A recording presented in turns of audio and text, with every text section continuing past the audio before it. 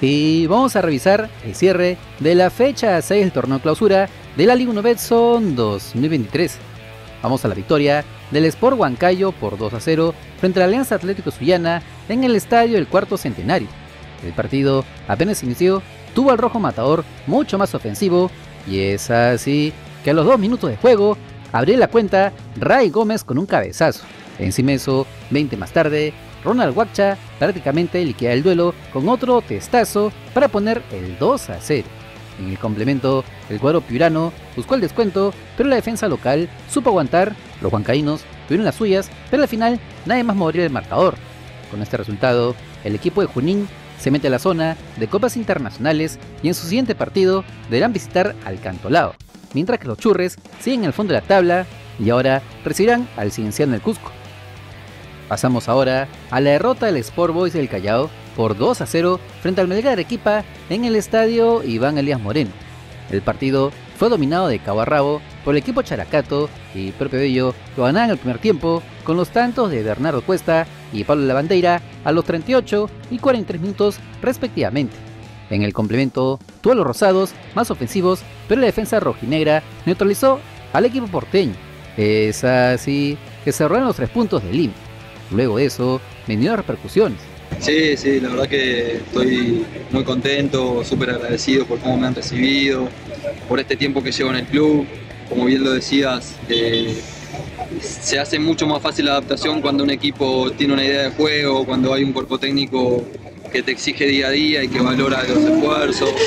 Eh, y bueno, eh, siempre que todo eso venga acompañado de resultados, hace que, el camino sea mucho más sencillo y mucho más disfrutable. No, creo que difícil para ellos. Ya no tengo que, dar opiniones, yo ya no estoy más en el club. Evidentemente no me gusta lo que está pasando, eh, no lo merece la institución y no lo merecen sus hinchas, pero alianza muy grande, estoy seguro que, van a salir adelante como han sabido hacer en otras oportunidades donde la cosa estaba un poquito más complicada. Eh, nunca es bueno que nadie se quede sin trabajo, entonces la salida del entrenador tampoco es algo que me agrade pero bueno, eh, siempre pensando en el bien del club y ojalá que, Alianza encuentre los caminos para, volver a ser el que, el que ha venido siendo estos últimos años. Sí, sí, obviamente, nos toca, nos toca jugar con Alianza todavía dentro de algunas fechas. Rendimiento encontrado seguramente, porque volver a Matute, eh, volver a reencontrarme con la gente, pero bueno, hoy me toca defender la camiseta de Melgar, intentaré dar lo mejor para Melgar ese día, así que me toca jugar y, bueno, eh, defender los intereses de, este grupo de jugadores. De esta manera, el equipo mistiano toma la punta del clausura junto al Sporting Sal y en su próximo partido deberán recibir a Universitario Deportes. Y hablando de la U, pasamos a la victoria de los Cremas por 3 a 0 frente al Carlos Manucci en el Estadio Monumental Umaraton. El partido se quebraba rápidamente con la expulsión de Jefferson Portales en el equipo visitante es una jugada muy discutida, pero por los hinchas del compadre.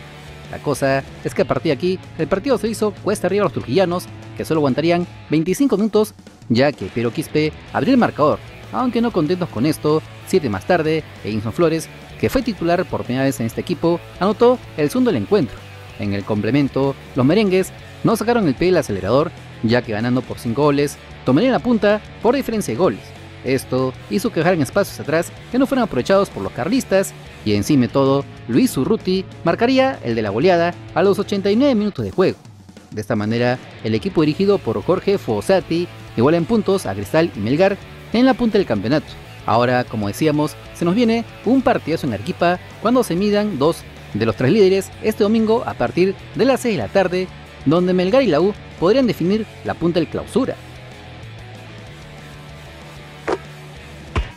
No te olvides que si quieres estar enterado de las últimas novedades de nuestro balompié, solo suscríbete al canal porque somos el canal del fútbol peruano. Si te gustó el video de like, comparte, suscríbete con la campanita. Nos vemos en el siguiente video. ¡Chao!